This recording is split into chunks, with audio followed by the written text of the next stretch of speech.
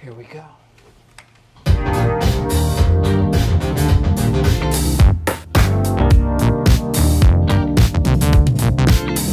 If you're anything like me, then your life is a constant cycle of just watching The Office on loop. As soon as the series ends, it's right back to the beginning to start all over again. When you've seen the show as many times as I have, you start to notice some things. Whether it's piecing together Creed's backstory or figuring out exactly what Ryan's job is, there's a lot more than meets the eye when it comes to our faves over at Dunder Mifflin. Perhaps the most fascinating realization I uncovered, though, is that mild mannered paper salesman Jim Halpert actually wrote the whole series. Or at least, that's what the show is about.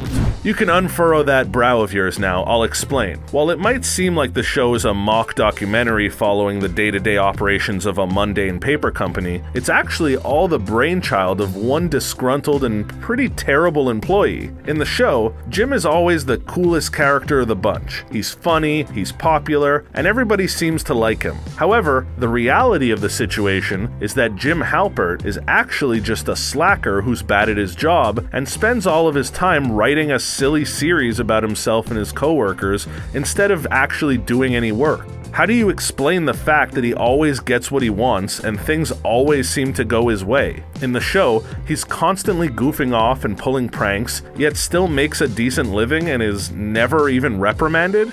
And how do you explain why he's always so cool in every situation and handles everything perfectly when the rest of the characters in the show are all depicted as crazy people? The root of this theory is actually from the original UK version of the show, where the entire concept is derived from. That show was created and written by Ricky Gervais, who has stated publicly in the past that he wrote the role of Tim as himself and drew from his own personal experiences. He, of course, played the role of Brent, so people barely noticed the correlation. When the show got adapted for American audiences, the Brent character was turned into Michael Scott, and the Tim character that's based on Ricky was made into Jim Halpert. So not only was Jim based on the actual creator of the original series, but there's so much evidence throughout the series that points to the whole thing being some sort of weird fantasy of his. Let's start by looking at his coworkers. While Jim is depicted as a pretty regular guy, his coworkers are all off the wall nuts. It's almost as if they're caricatures of actual people. And the crazier ones are clearly the ones that the real Jim dislikes the most. Take Michael, for example.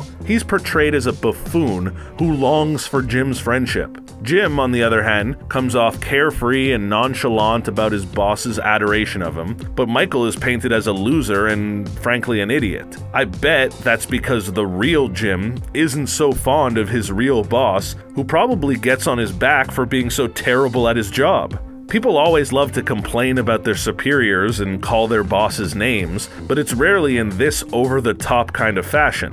This is clearly a representation of Jim's resentment towards his boss Michael, and not an actual one. I mean, there isn't a human being alive who would do some of the stupid things Michael Scott has done in the show. Driving your car into a lake because the GPS said to turn?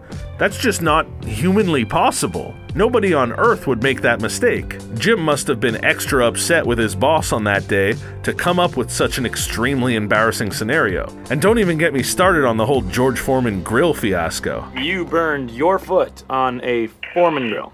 Then there's Jim's coworker, Dwight Schrute. Throughout the series, the pair are sort of frenemies. In early seasons, they rarely see eye to eye. They're constantly butting heads, and Jim is always pranking Dwight without any repercussions. Simultaneously, Dwight is the most successful salesperson in the branch, and perhaps even the entire company, as well as a successful businessman who owns the building the office is located in, and owns and operates his own beet farm and bed and breakfast. It would make sense why Jim would resent him and portray him as such a weirdo and a loser. Jim probably holds quite a bit of anger towards his coworker and is jealous of all of his success in life, so he writes him the way that he does. He feels insecure compared to Dwight's successful track record and hardworking attitude, and resorts to pranking him in order to make him look like a fool. That's if the pranks are even real. I mean, some of them are just so absurd that there's no way they could have actually happened. They have to be a figment of someone's bored imagination. Training Dwight to respond to the sound of a computer shutting down like he's Pavlov's dogs?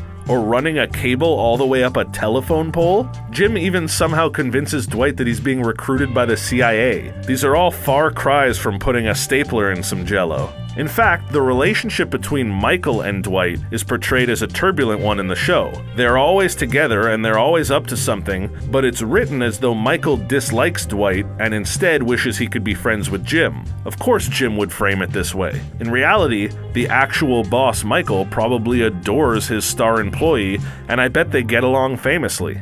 Jim is such a bad employee that even in the show it affects the day to day success of the branch. During the season finale of season 2, in an episode called Casino Night, we see Jan tell Michael that his Scranton branch is ranked number 4 out of the 5 branches that she oversees, and that they aren't doing very well at all. Following that episode, after Jim makes a move on Pam and gets turned down, he transfers to another branch. He eventually rejoins the Scranton branch in episode 8 of season 3.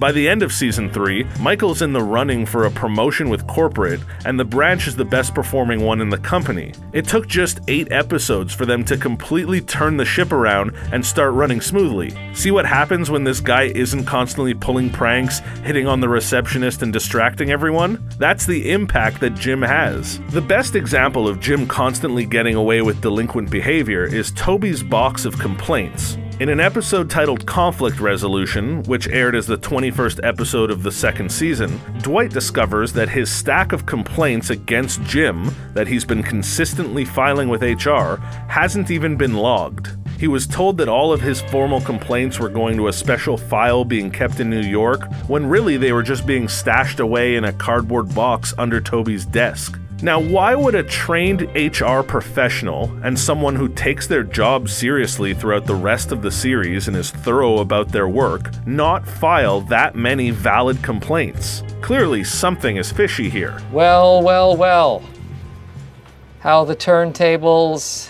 Jim torments Dwight day in and day out, yet the person in charge of human resources just chooses to ignore the issue altogether and totally chooses a side on the conflict? That doesn't add up at all. In fact, Toby is another prime example of evidence that Jim was writing the show all along. At the beginning of the series, Toby is depicted as a relatively normal person. Sure, he's a bit mopey, but he's fine. This is probably because the real Jim barely knows him in real life. However, as the series progresses and the actual people probably got to know each other a lot more, the Toby character gets more and more sad and depressing.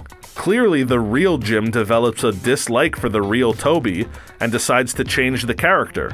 It's probably because the real life Jim is awful at his job, never working and always writing these silly stories, and ends up getting in a lot of trouble with HR in reality. I could see the HR rep being a real pain in the butt to a guy who doesn't want to do anything at work other than type scripts on his computer. The same could be said for Ryan Howard. At the start of the series, it appears as though Ryan is a normal guy, and he and Jim actually kind of get along pretty well. However, the more Jim gets to know him, the crazier and worse the Ryan character becomes. Eventually, his story spirals completely out of control, and by the end of the show, he's a complete and utter joke, and a far cry from the person that he was in season 1. Jim writes him as a drug addict, a failure, a laughingstock, and a pretentious jerk. The real Ryan Howard is probably a great guy that the real Jim has grown to resent more and more over time. It's not just these specific characters I've mentioned either. Every single character is a totally augmented version of an actual person.